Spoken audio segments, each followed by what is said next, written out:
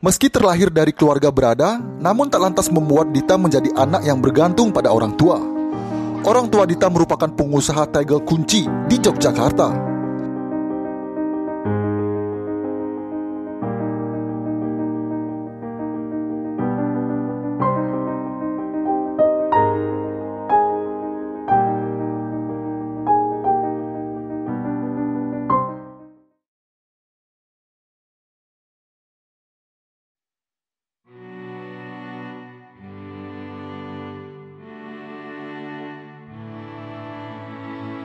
Kesuksesan Dita Karang hingga berhasil debut sebagai idol K-pop bersama Secret Number bukanlah perjuangan yang mudah. Penuh lika-liku dan perjuangan yang tentunya menguras energi, materi, dan waktu.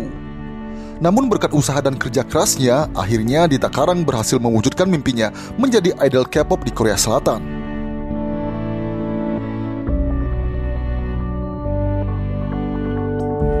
Lalu, apa saja kunci sukses Dita Karang hingga berhasil mengantarkannya debut sebagai idol bersama Secret Number? Sebelum lanjut, silahkan subscribe dulu, like, dan beri tanggapan kalian tentang video ini pada kolom komentar ya guys.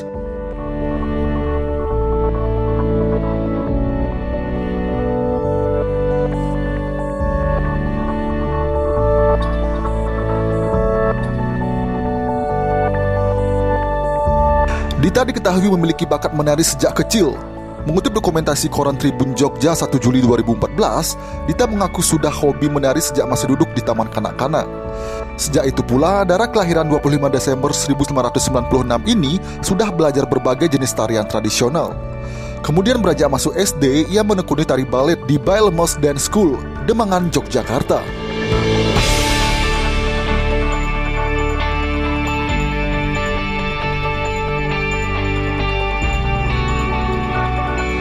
Setelah lulus SMP, Dita kemudian melanjutkan pendidikannya ke jenjang SMA di SMA Stella Duce, satu Yogyakarta. Selama sekolah di sana, Dita aktif dalam grup dance stage yang bernama Rezel Epenol. Bersama timnya, Dita pernah mengikuti berbagai ajang perlombaan tari, termasuk menjadi kapten dance competition di BL Jogja 2014.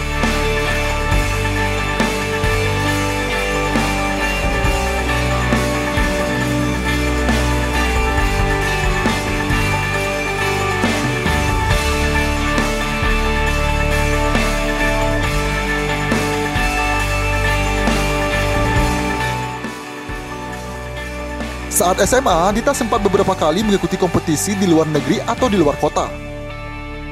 Dita pernah meraih juara 3 pre-amateur pada ajang Por Malaysia Open Dance Festival 2012 dan juara kelima pre-amateur 10 Crystal Dance Sport Championship. Selain di luar negeri, Dita juga menyimpan segudang prestasi di dalam negeri. Di antaranya juara dua kategori Free for All atau FFA Slowpoke, juara 3 FFA Quick Step, juara 3 FFA Pain Swords, juara 3 FFA Tango dan juara 3 FFA Wall Sporting Semarang Open Dance Sport Championship 2012.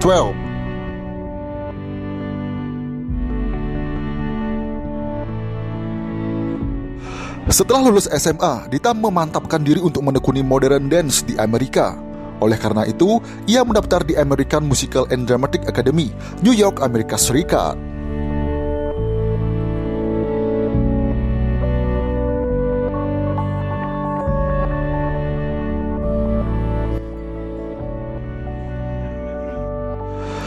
Perjuangan panjang juga dilewati oleh Dita Karang sebelum debut sebagai anggota Secret Number. Gadis kelahiran 25 Desember 1996 ini sempat mengalami kegagalan ketika audisi. Tak hanya satu dua kali, Dita Karang mengalami kegagalan hingga berkali-kali. Beberapa kegagalan yang pernah dialami adalah ketika Dita Karang mendaftar ke berbagai agensi atau drama musical base yang ada di Amerika Serikat. Dikarenakan persaingan yang cukup ketat, Dita Karang beberapa kali mengalami kegagalan. Dari kegagalan tersebut, Dita kemudian mencoba peruntungan lain. Dita hijrah ke Korea Selatan dengan mendaftar ke beberapa agensi. Hingga akhirnya ia lulus audisi sebagai trainee di PIN Entertainment. Dita pun sempat menjalani masa trainee selama 2 tahun. Perjuangan panjang yang dilaluinya itu juga diungkapkan saat ia live Instagram bersama Dian Sastro. Dan yang aku merasakan aku juga udah ngedance dari dulu, aku kira aku bakalan capek fisik ternyata hmm. capek mentalnya lebih banyak Oh gitu. Iya, jadi kayak, Tapi gede hati ya. hmm, Gimana dong? Te- tapi apa ya? Aku juga nyadar kayak it's important to have someone to talk to. Dan Oke. aku kayak punya member karena aku di sini nggak terlalu kenal siapa-siapa kan. Jadi aku pasti ngomong ngobrol-ngobrolin juga sama memberku kayak apalagi yang udah udah lama gitu kan training di sini kayak ini emang biasa nggak sih kalau aku ngerasa kayak gini? Kayak aku aku aku ngerasa aku udah udah training tapi kayak tiap hari kayak aku ngelakuin hal yang sama terus capek capek doang tapi kayak nggak nggak nambah-nambah kayak segitu-segitu aja gitu loh rasanya. Tapi ini bener nggak sih gitu? Terus waktu training dulu juga kenapa nggak debut-debut? Kayak nggak ada nggak ada kepastian gitu. Jadi kita kayak capek apa ya daripada Ya belum capek. kelihatan hilalnya kapan debutnya gitu ya kayak Hmm, gitu. waktu Tapi itu sekarang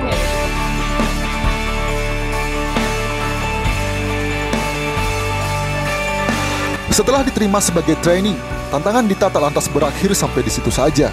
Ia masih harus mempelajari bahasa dan juga budaya Korea. Untuk memperdalam bahasa Korea, Dita sempat mengikuti les bahasa Korea secara intens.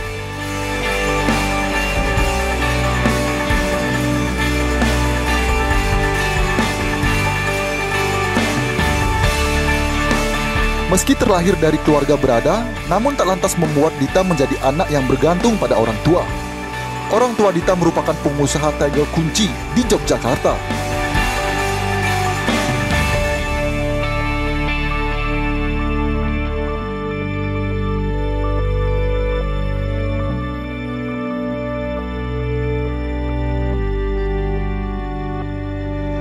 Sehingga banyak haters yang meninggalkan komentar dan pesan yang mengatakan bahwa Dita bisa berhasil menjadi idol di Korea karena orang tua yang kaya.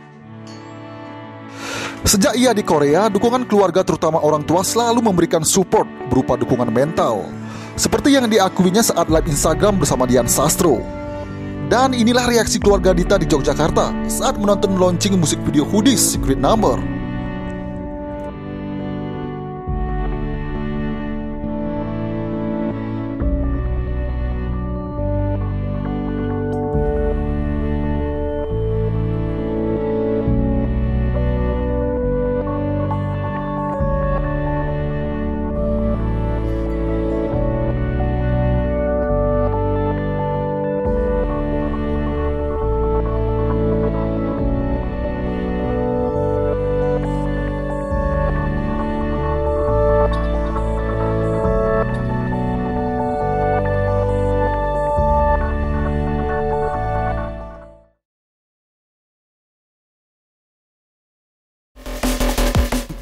Secret Number merupakan girl band pendatang baru yang debut pada bulan Mei 2020 lalu. Grup idol asuhan Pin Entertainment ini beranggotakan lima orang personil, yaitu Lea, Dennis, Sodam, Jini, dan Dita Karang.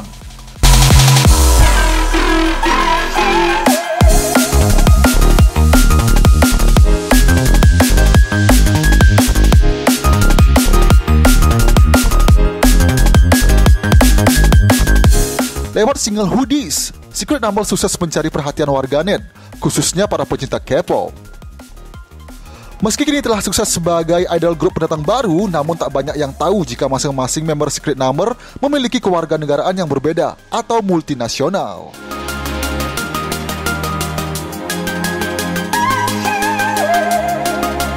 Pemilik nama lengkap Ogawa Misuki ini berasal dari Jepang. Lea merupakan leader dan vokal di Secret Number.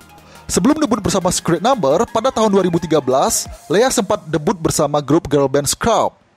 Saat menjadi member Scrub, Lea memiliki nama panggung Hana. Sayangnya, karir Scrub tidak berjalan mulus. Pada tahun 2014, Scrub dinyatakan bubar oleh agensi tempat mereka bernaung.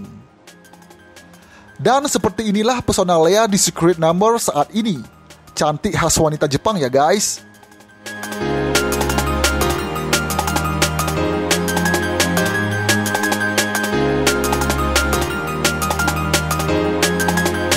Pemilik nama asli Ginny Park ini berasal dari Amerika Serikat, namun memiliki darah Korea. Ginny merupakan driver dan vokal di Secret Number. Sebelum resmi debut bersama Secret Number, Ginny merupakan seorang trainee di YG Entertainment selama kurang lebih 4 tahun, terhitung dari 2013 hingga November 2017. Kala itu, dia menjalani masa training bersama para member Blackpink, yakni Jisoo, Jennie, Rose, dan Lisa. Awalnya Jinny tergabung dalam Future Tone One, sebutan untuk girl group pre-debut YG Entertainment. Pada masanya, grup ini begitu diidolakan karena digadang-gadang menjadi girl band pertama yang akan didebutkan YG Entertainment setelah Tone One. Tapi sayang, Jinny tiba-tiba dikeluarkan dari jajaran line up. Sebelumnya, Jinny, Jisoo, Jennie, Lisa, Rose, serta keempat trainee YG yang lain direncanakan untuk debut dalam girl band bernama Pingpang sekitar tahun 2012 silam. Namun karena banyaknya anggota mengalami masalah pribadi, debut Pingpang tertunda. Oleh karena itu, satu persatu trainee ini meninggalkan YG atau pindah ke proyek grup lain, termasuk Jinny. Akhirnya, grup debut Pingpang hanya menyisakan empat member, dan mereka melakukan debut dengan nama Blackpink tanpa tambahan anggota lain pada tahun 2016. Dan seperti inilah pesona Jinny di Secret Number saat ini. Rambutnya yang pirang membuat Jinny mudah dikenali ya guys.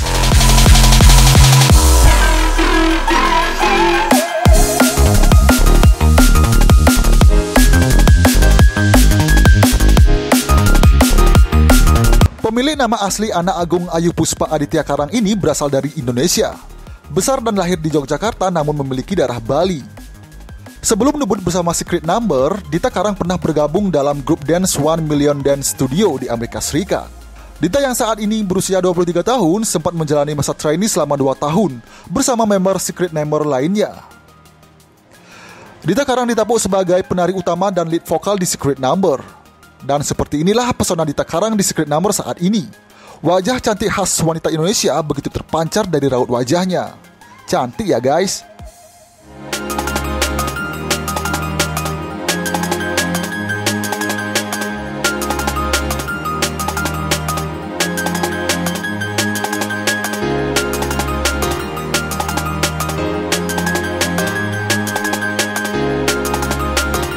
Selain Ginny, Dennis juga lahir dan besar di Amerika Serikat. Dia sempat menghabiskan masa kecilnya di kota Texas, sehingga ia pasti berkomunikasi dalam bahasa Inggris. Dennis Kim adalah McNay dan vokalis utama di Secret Number, yang berusia 19 tahun dan lahir di Amerika Serikat. Ia juga mantan trainee di YG Entertainment sejak tahun 2016 lalu. Dennis merupakan member termuda dan tertinggi di Secret Number. Dennis yang jago main gitar ini pernah tampil di acara K-pop Star Season 5 saat di acara tersebut, ia jadi bagian dari grup Mazinga.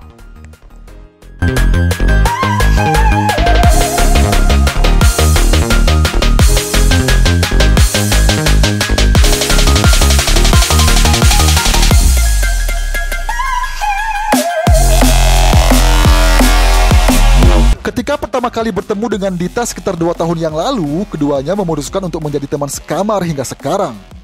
Lea, leader dari Secret Number, sempat menyebutkan kedekatan antara Dita dan Dennis bak sepasang suami istri. Bahkan Dita sendiri menyimpan nomor handphone Dennis dalam kontaknya dengan nama wife atau istri. So sweet banget ya guys. Dari sekian banyak penyanyi dan musisi yang diidolakan oleh Dennis, dia adalah fans berat dari Tori Kelly. Dalam sebuah wawancara, alasan utamanya sangat menyukai sosok Tori Kelly karena sang solois punya suara yang merdu, pintar menulis lirik, dan baik hati. Dan inilah pesona Dennis di Secret Number saat ini. Dari wajahnya terlihat Dennis sosok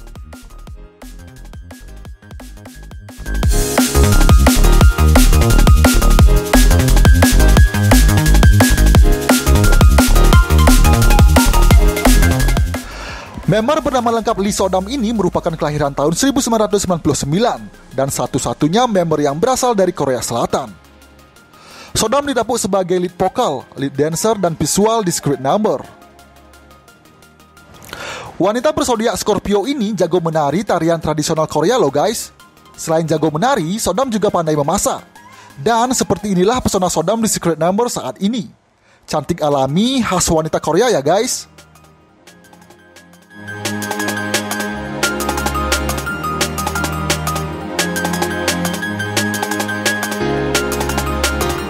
Nah, itulah informasi tentang Secret Number dan juga para membernya. Semoga informasi ini menambah pengetahuan kalian tentang Secret Number dan para membernya ya guys. Jangan lupa untuk subscribe channel Sugianta TV. Satu subscribe dari kalian sangat berarti demi kemajuan channel ini. Sampai jumpa di video berikutnya dan see you.